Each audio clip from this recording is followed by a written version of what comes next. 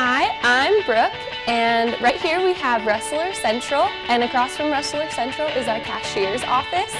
They offer you to make payments as well as get money for the food court. And back in Rustler Central, we have things such as admissions, athletics, financial aid, registration, and general student life. If you'll follow me in here,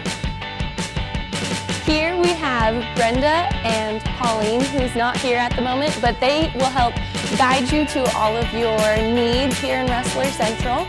Um, they can help you get in to make appointments for class registration and advising and other things like that. Over here, this is where you can get your student ID. This allows you to pay for money in the food court, get into games and other activities here on campus. And then in this room over here, this is where our student senate meets and talks about all of the approved activities here on Central Wyoming College. Over here are our two advisors, Lisa and Jason. They help new students register for classes and they're also our success coaches here at CWC. So these are our financial aid offices.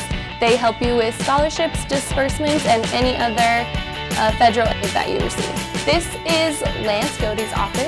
He is a counselor here at Central Wyoming College and he's also the Director of Student Success. These are our admissions offices. Uh, we have Tawny, who is our student recruiter. Her and Patrick, who is the Director of Admissions, are the bosses of our deputy recruiters. And we also have Christina, who is our international recruiter as well as the leader of the Multicultural Club.